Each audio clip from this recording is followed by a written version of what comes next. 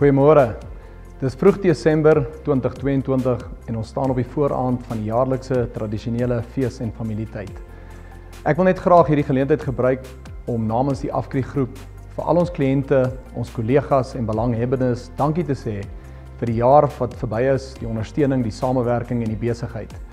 Dit was 'n uitdagende jaar, maar ons is diep dankbaar dat die klimaatomstandighede positief is.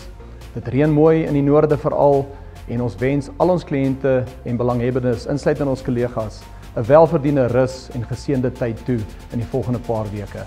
Dankie vir 2022 vir die ondersteuning en ons sien uit om 2023 saam met julle af te skop en die positiewe momentum van hierdie jaar verder te vat. Namens Afkri, baie dankie en geseënde tyd vir almal.